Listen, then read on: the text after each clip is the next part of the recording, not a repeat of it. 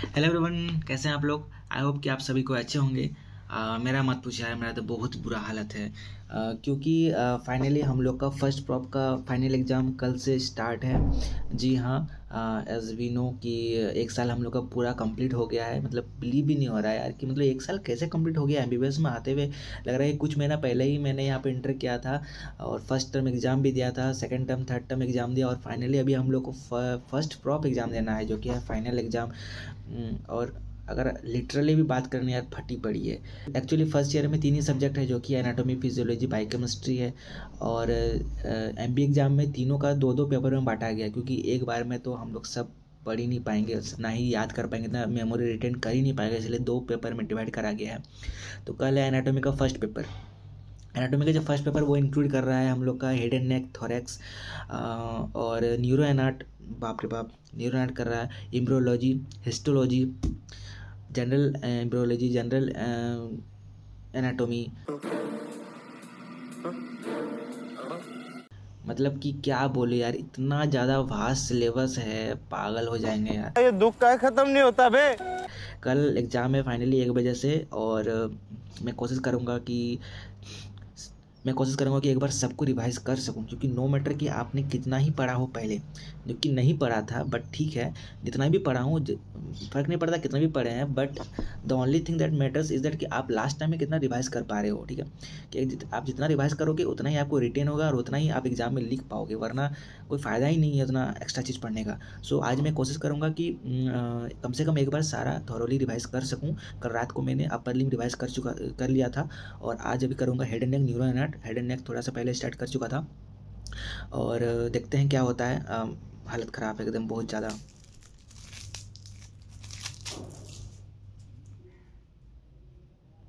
वैसे medical college में एक प्रथा होती है कि जो हमारे जिनका भी एग्ज़ाम होता है ना, वो उनकी इमीडिएट सीनियर्स हो गए या फिर जो जूनियर्स हो गए, वो उनको वेल विश करते हैं। तो कल रात में भी हम लोग को जूनियर्स आए थे ट्वेंटी ट्वेंटी टू बैच के, जो हम लोग को पेन दिए चॉकलेट्स दिए थे वेल विशेस दिए कि अच्छा से एग्ज़ाम दीजिएगा वगैरह वगैरह बॉस भी दिए। फ़िलहाल अभी हम लोग को बॉस ये दिए हैं, छोटे से माजा, और हम लोग को मूड अपलिफ्ट करने के लिए। तो इन्जॉय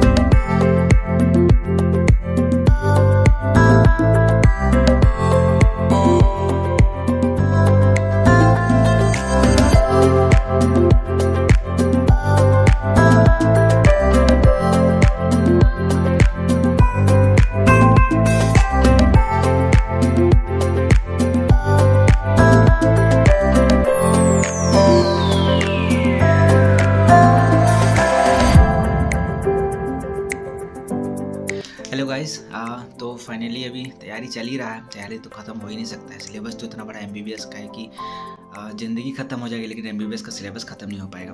वेल अभी टाइम हुआ है, कितना टाइम हुआ है? Yes eleven twenty seven time हुआ है, और अभी तक न्यू ईयर बचा हुआ है मेरा। एक बार हेड एंड नेक रिवाइज कर लिया मैंने इम्ब्रियो रिवाइज कर लिया थोरेक्स रिवाइज कर लिया था कल।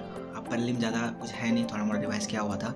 माइंड सेचुरेट हो चुका है, कुछ समझ में नहीं आ रहा है क्या पढ़े, क्या नहीं पढ़े, सब डिजॉल्व हो चुका है, एकदम ब्लैंक अभी अगर कोई हमसे पूछ देगा तो कुछ घंटा कुछ नहीं बता पाएँगे किसी का फ्लोर किसी का रूप बन गया लेटरल वाल मीडियल वाल घंटा सब इधर उधर सब मिक्स हो चुका है. अभी मतलब कि हार्मोनल लेवल पीक में हुआ है वो समझ में नहीं आ रहा. बट बट इतना स्ट्रेसफुल सिचुएशन में एक बहुत ही अच्छा थिंग वो है कि हमारा यहाँ का इन्वायरमेंट जो मेडिकल लोग सभी जानते हैं कि मेडिकल कॉलेज में सिर्फ़ पढ़ना ही होता है सिर्फ़ पढ़ना ही होता है हमेशा से पढ़ाई लिखाई करना होता है। लेकिन यहाँ का जो इन्वायरमेंट इतना अच्छा है एग्ज़ाम का टाइम खासकर, क्योंकि अभी फ़िलहाल हम लोग के जितने भी सीनियर्स बैचेस है, जितने भी सीनियर्स है जूनियर्स है, सब आए थे हम लोग को मिस करने के लिए कि बाबू लोग अच्छा से एग्ज़ाम देना। हम लोग को टिप्स दिए, हम लोग को बहुत सारे चॉकलेट्स और पेन्स मिले। मतलब इतना सारे चॉकलेट इतना सारा चॉकलेट हो हम खाएँगे कैसे? और इतना सारा पेन मिल गया कि हमको लगता है कि दो साल मेरा इस कोई पेन खरीदने की ज़रूरत ही नहीं पड़ेगा। वेल uh, uh, मैं आपको दिखाता हूँ रुक मुझे क्या क्या मिला है देखो आ, मुझे इतना सारा चीज़ मिला है एक्चुअली इतना सारे पेन मुझे एपी ठीक है ये सारी चीज़ें जो मुझे बॉस ने दिए हैं यहाँ के सीनियर्स ने दिए हैं जूनियर्स ने दिए हैं और कितने अच्छे अच्छे कोर्स लिख के दिए हैं। एग्ज़ाम को जाते वक्त दही शक्कर खा कर जाना एग्ज़ाम के एक दिन पहले ही स्टडी क्यों ना किया हो? एग्ज़ाम पेपर पूरा लिख करके ही आना। ये हम लोगों ने दिया था हॉस्टल वन, जो कि दसम है उन बॉस ने। All the best juniors for prof exams हम भी पास हो गए थे, तुम भी पास हो जाओगे फ्रॉम टू के नाइनटीन ये special message two K nineteen best है, क्योंकि टू के नाइनटीन से पेंटेंसी बेस्ड एग्जामिनेशन शुरू हुआ था और बहुत गंदा हालत था। तो हम लोग तो अभी उससे एडिकुएट हो चुके हैं। और ये कुछ कुछ बॉस दिए हैं हमें। और जूनियर्स की तरफ़ से मुझे मिला था ये सीनियर्स की तरफ़ से मिला था बहुत बहुत सारे सीनियर्स से मिला था, इतना सारे चॉकलेट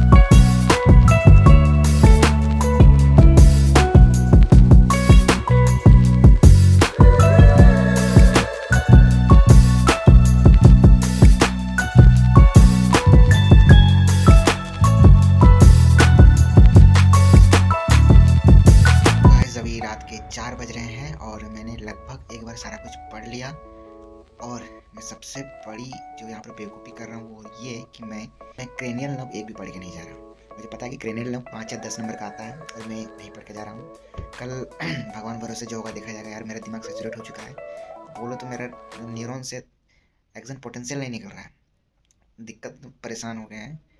तो अब जो होगा देखा जाएगा, मेरा दिमाग सेचुरेट हो गया, मैं सोने जा रहा हूँ अभी, मस्त मस्त, आधा घंटा रील देखूँगा और सो जाऊँगा, ठीक है? हर कोई सोचता है कि एक बार नीट क्रैक हो जाए, नीट निकल जाए, उसके बाद तो ज़िंदगी ऐसी ऐसे क्योंकि डॉक्टर बनने के बाद तो एक अलग ही ज़िंदगी होती है, पढ़ना नहीं पड़ता है। बट गाइस एक बात बता दूँ कि ये एक बस छलावा है। रियलिटी है कि जितना आप नीट के टाइम नहीं पढ़ते हो ना, उसके दस गुना ज़्यादा आपको एम लाइफ में पढ़ना पड़ता है। और एक कहावत है, शायद आप लोग नहीं सुनेंगे क्योंकि आप लोग अभी तक एमबीबीएस में नहीं आए हो, वो ये है कि ज़िंदगी चुने एमबीबीएस नहीं। चलो यार, कल सुबह मिलते हैं।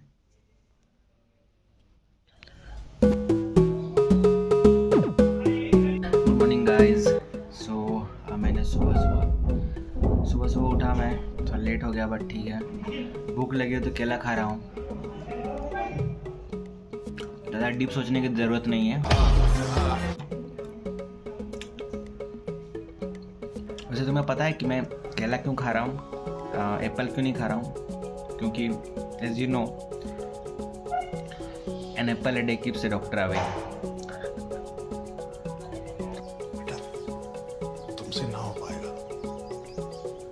हमें तुम्हारे लक्षण बिल्कुल ठीक नहीं लग रहा तुमसे ना हो पाएगा। मैं पागल हो गया हूँ क्या के गंदा गंदा जोक मारे जा रहा हूँ यार।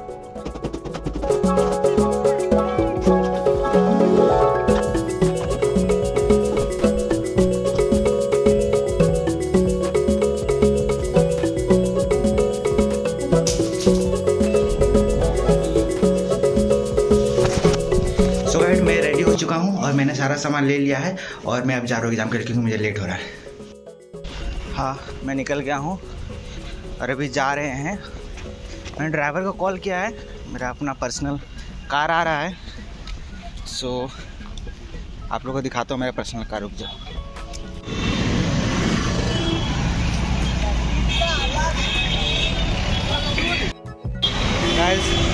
मैं अभी अपना ब्लू पेंसिल भूल गया था ब्लू पेंसिल लेने जा रहा हूँ। सो गाइड मैं रेडी हो चुका हूँ और मैंने सारा सामान ले लिया है और मैंने सारा सामान ले hello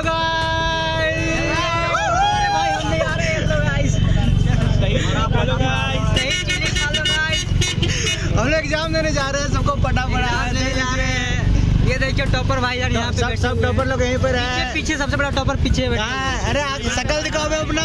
This guy three. Times revision syllabus खत्म करने के बाद टॉपर एक एक टॉपर दूसरे का टॉपर बोलते हुए कैसे दही चाट रहे हैं भैया जी? अरे अरे। यही सब तो शगुन है। टॉपर का नंबर लाएगा ये हमारे पर्सनल ड्राइवर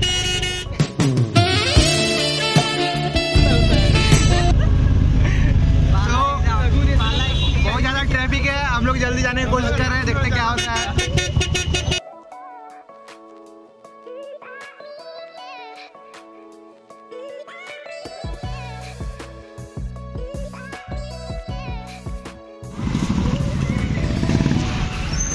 तो यही है हम लोग का सेंटर सो so, देखने में तो अच्छा ही लग रहा है।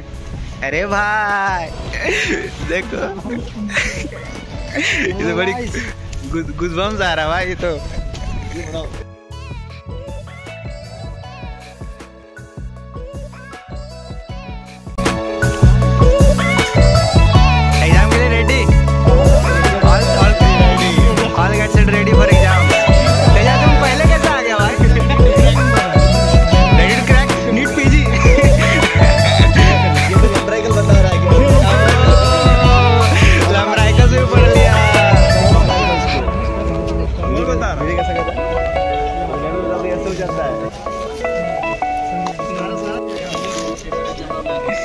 क्या हो गया भाई इतना सैड सैड किया है तुम लोग?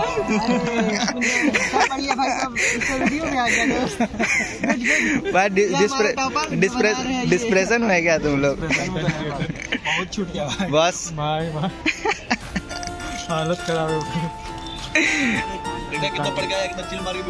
हाँ क्योंकि अभी कुछ क्योंकि मेरे दिमाग में कुछ नहीं घुसेगा अभी। As a content creator you have so many गद्दार है तू साले गद्दार है। निखिल। इंसान वीडियो बनाता तैयारी हो गया भाई तुम लोग का? टॉपर लोग ये लाइट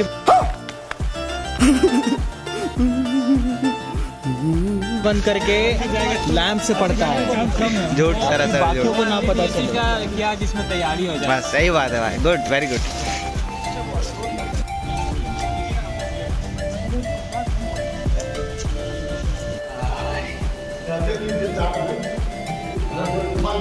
कुछ लिटरल बोलो फेरिंग्स पे ना?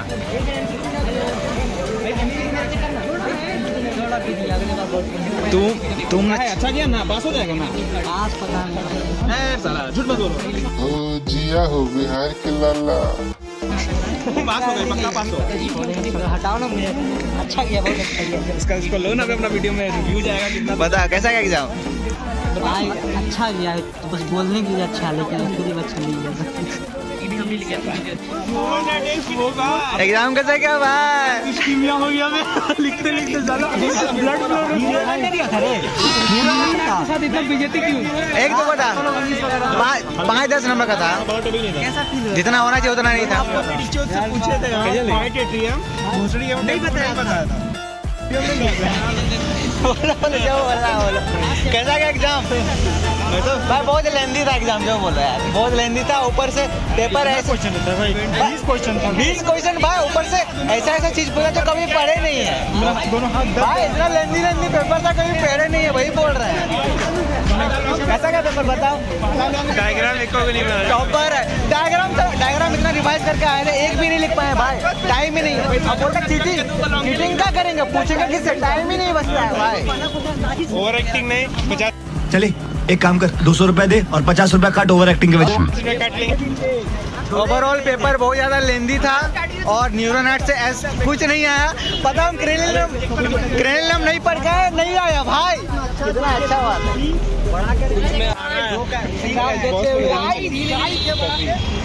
हाँ देना होगा ना Guys, this is making reels, but he's the actual dumper. This is the dumper. he confuses your uh, the audience with saying that he's not talking but he's खतरा का घंटी भी है क्यों नहीं पढ़े केरला हम नहीं पढ़े जाना चाहिए नॉर्मली बनने जाता है ना वहाँ से अलग आ रहा है ट्रांसफ़र सेक्शन से क्या होगा अच्छा एग्ज़ाम नहीं क्या तेरा नॉर्मल ऐसा क्या एग्ज़ाम पास था. ना. इतना पढ़ रहा था न्यूरो नेट क्या हुआ? दो घंटा में न्यूरो नेट खत्म कर लिया ग्रेन खत्म कर लिया एक भी पूछा। सुबह वही पढ़े। इंटरनल जुगलर में पढ़ा और भूल गया। हम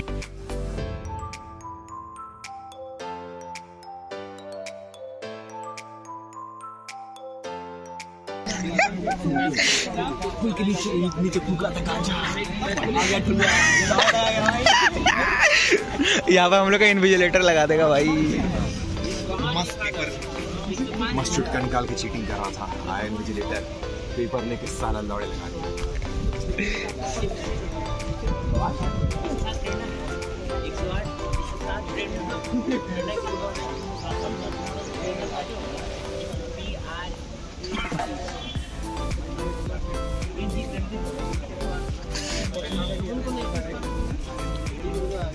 ओमकार ओमकार।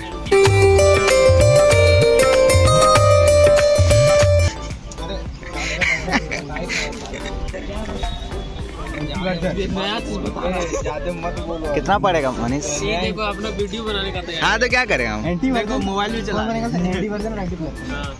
एंटी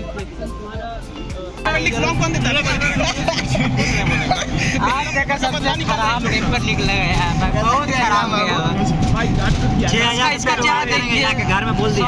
काले से रो रहे थे हमको पता था खराब कैसा क्या एग्ज़ाम बहुत खराब बहुत ज़्यादा खराब किया है भाई पूरा सिर घूम रहा है भाई टोपी पहन रहे थे फिर I am ready for supply hi. सही में सबकी लग शुरू भाई रोज़ाना एक टॉपिक पढ़ेंगे। सुनो सुनो किसी को नहीं लगेगा कुछ। देखो। मेरा ही हम भरे नहीं है गलती की आज सब खा रहे भाई रोज़ाना इसी नहीं लगेगा रोज़ाना पीछे दो पेपर लेके लौड़ा दो अरे भाई दो पेपर लिए तो हम क्या लिखे भाई? सुनो तो। कुछ नहीं चेहरा बस fill in the blanks fill in the blanks बस। दो, दो पेपर फिलिंग एक इसमें एक उसमें एक इसमें। मेरा हम लोग अरे भाई खत्म हो गया। सो ओवरऑल मेरा एग्ज़ाम ठीक ठाक गया एक्चुअली क्योंकि कल तो मैंने जैसे बताया था कि मैंने क्रेनियल नब्स कुछ नहीं पढ़ा था और बाय गॉड ब्लेसिंग्स क्रेनियल नब आया भी नहीं। और उतना मतलब कि न्यूरोनेट्स उतना पूछा भी नहीं गया था बट बहुत ज़्यादा क्या था मतलब कंटेंट बहुत ज़्यादा था, इसलिए बहुत ज़्यादा टाइम लग रहा था। बहुत ज़्यादा टाइम लगा मतलब हाथ भी दुख गया। लास्ट में तो राइटिंग ऐसा हो गया कि पता नहीं अब इन्विजिलेटर चेक कर पाएगा कि नहीं, पढ़ पाएगा कि नहीं अच्छा से। डायग्राम डायग्राम इतना अच्छा से रिवाइज करके गए थे डायग्राम घंटा नहीं बना पाए टाइम ही नहीं मिल रहा था। टाइम मैनेजमेंट बहुत ज़्यादा क्रूशल हो जाता है यहाँ पर सो सेलेक्टिव लिखना पड़ता है। सो so, हम लोग का पहला एग्ज़ाम था तो उतना कुछ बहुत कुछ सीखने को मिला। एंड uh, देखते हैं।